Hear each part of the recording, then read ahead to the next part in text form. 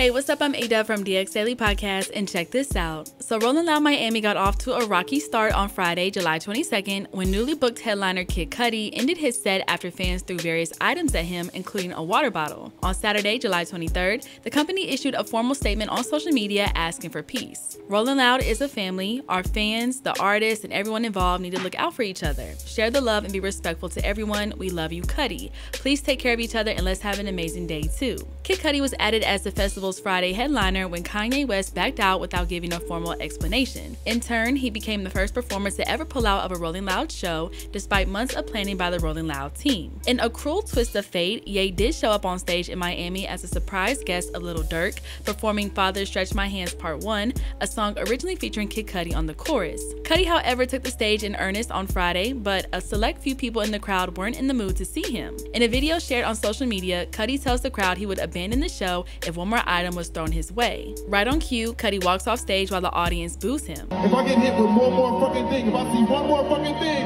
on this fucking stage, I'm leaving. Don't fuck with me.